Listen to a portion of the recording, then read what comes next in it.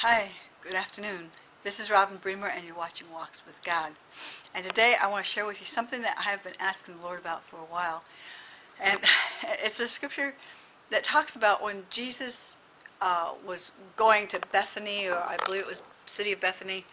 Uh, he wa- he was hungry in the morning, and he stopped by a fig tree that had leaves on it, and it had no figs on it. And he cursed the fig tree, and he said, "No fruit will grow from you for, forever." Now I know that the reason that the fig tree had leaves on it because the leaves indicated that it was the time of harvest, the time for fruit to be there. So that's why you know Jesus is smart. He he he knew the seasons and times, and he knew that that fig tree was giving all the signs of having figs, ripe figs on it, and there should have been figs on that tree to eat because uh, it was the season and the time for figs to be ripe. Well, when he went to the tree, there was no figs on it. And his response is, he said to the tree, he talked to the tree, which we're supposed to talk to things. We're supposed to decree things and um, command it to be. And, and the angels and the Holy Spirit, you know, they, they, they cause it to happen because we're decreeing God's will. Well, when Jesus said to the tree, no man will ever eat fruit from you again. I questioned him. I said, Jesus, why did you curse the fig tree? Because if it had been me and I came across a fig tree and I was hungry and I couldn't go to the grocery store and get a cup of milk and some cookies or whatever, my food was, you know, going to a fig tree, I would have said to the fig tree, um, I command you to bear fruit. I command you to be useful, to bear fruit. You know, I, I would have said that to the tree. I wanted to curse it. So, in my logical thinking, I didn't understand why he cursed it, and I questioned him about it. And this is what he told me. I was sitting in church in the um, hospitality room here, instead of going home 45 minutes in the heat and 45 minutes back, and then you know coming back to the church when my car air conditioning doesn't work very well, I decided to stay here. So I was just talking to the Lord, and I was looking up that scripture, and I was asking him why he cursed the tree.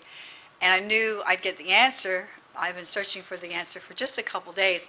And he said, the truth. now listen to this, I thought this was really cool. He said, the reason that he cursed the fig tree is the fig tree reaped what it sowed. Jesus said that when he went to get figs from the fig tree, there were no figs on the tree. So therefore, the tree was reaping more of no more fruit. Just like uh, and then he referred back to the talents. Then he gave um, coins, uh, one coin to one person according to their ability to multiply it. He gave five coins to one person and two coins to another person. And he says, uh, while I'm gone, take care of these. And when he came back, the person who had five coins or talents um, went out and got interest and earned five more talents or coins for his master.